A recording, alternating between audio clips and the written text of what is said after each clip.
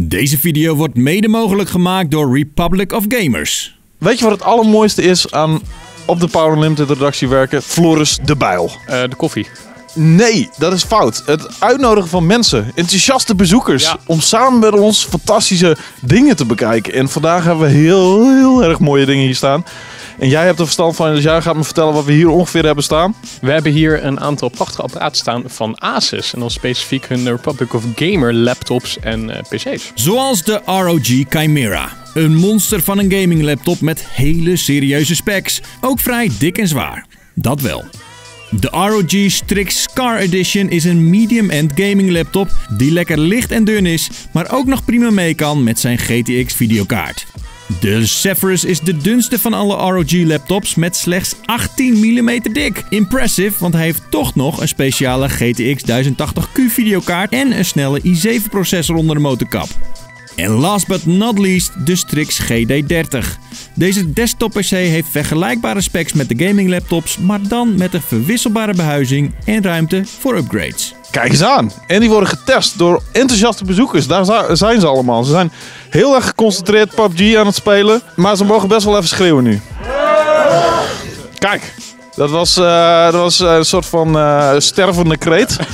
maar dat betekent dat ze enthousiast zijn. En wij gaan ze even vragen wat ze van deze fantastische computers vinden. Want ze hebben er vast inmiddels wel een mening over ontwikkeld. En jij bent er heel erg goed in. Want jij hebt verstand van dingen. Jij hebt verstand van hardware. En ik val alleen maar door de mand als ik vragen stel. Ja, ik ga heel lastig vraag stellen. Lastige vragen. Kijk, mooi, daar houden we van.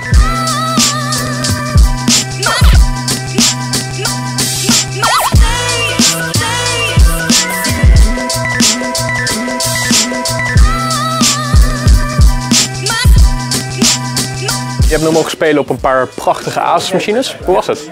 Ehm, ja, eh, vernieuwende ervaring eh, qua, qua FPS, dat sowieso. eh, met vergelijking een materiaal wat ik thuis heb staan. Ehm, ja, 144 FPS ehm, ja, is nog wel steeds een droom van mij. Maar het budget dat komt er niet bij in de buurt. We hebben hier drie notebooks staan van Asus. Als je mocht kiezen, welke zou je dan pakken? Ongetwijfeld die dunne. Want, ik voel hem al aankomen. Ja, hij is lekker compact, mooi beeldscherm. Je, je merkt wel dat, inderdaad dat hij een compromis moet sluiten. Dat het niet, net minder soepeltjes gaat als op die grote. Maar het is een heel minuscuul verschil. Je merkt ook dat hij eh, ja, dat heel erg stil is. Ik- Volgens mij zelfs nog stiller dan die helemaal aan de andere kant. Dus eh, ja, ik ben er erg over te spreken. Als je een van deze producten mee zou mogen nemen, elke laptop, beeldscherm, PC, wat zou je dan meenemen? Voor upgradebaarheid zou ik voor een desktop gaan. Maar voor eh, portability zou ik toch de middelste laptop meenemen. Ehm, die is eh, ja, vrij licht, eh, makkelijk mee te nemen. En eh, pakt toch wel eh, echt goede hardware. En is design ook belangrijk voor jou of zeg je, maakt helemaal niks uit? Mm, Het heeft wel een invloed. Het, dit, voornamelijk wel, je moet er wel mooi uitzien. Maar uiteindelijk gaat het toch wel even om, de prestaties van hoe dit allemaal werkt.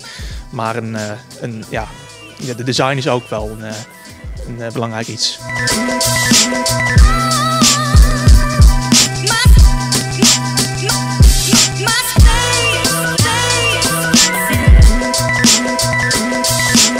Het was een heel leuk middagje hier op de Paralympic redactie. We hebben met z'n allen PUBG gespeeld.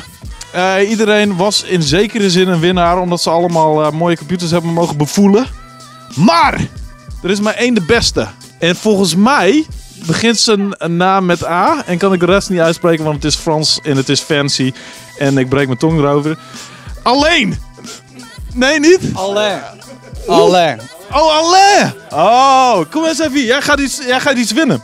Je bent de terechte kampioen. En dat betekent, dat betekent dat jij eh, ehm, niet alleen een fantastisch goodie pakket mee mag nemen, maar die mag iedereen gelukkig meenemen, dus iedereen is een winnaar.